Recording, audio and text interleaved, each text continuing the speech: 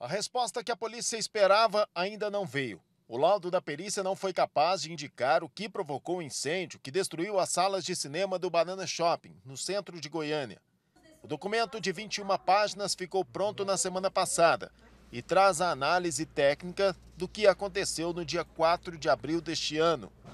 As fotos tiradas pelos peritos depois do incêndio mostram a destruição nas salas atingidas pelo fogo.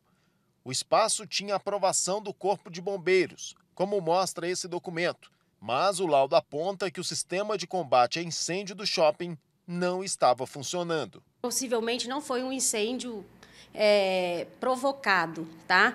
Às vezes nós vamos chegar à conclusão que foi um incêndio criminoso, mas por imprudência, porque tem várias irregularidades na, no sistema de anti-chamas, no, no hidrante não estava funcionando, nem os chuveirinhos anti-incêndio.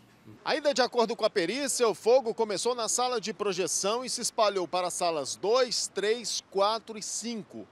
A sala 1 não foi atingida.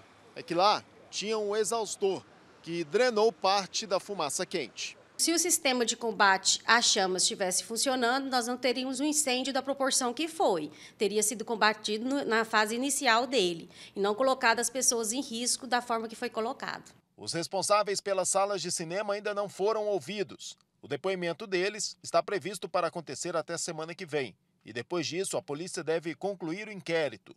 O local não tinha seguro e, caso seja comprovada alguma imprudência, os responsáveis poderão responder criminalmente. Se eles tinham conhecimento que não estavam funcionando nenhum desses, desses sistemas, eles podem sim, na modalidade de culpa por imprudência. E qual a pena? A pena é de seis meses a dois anos.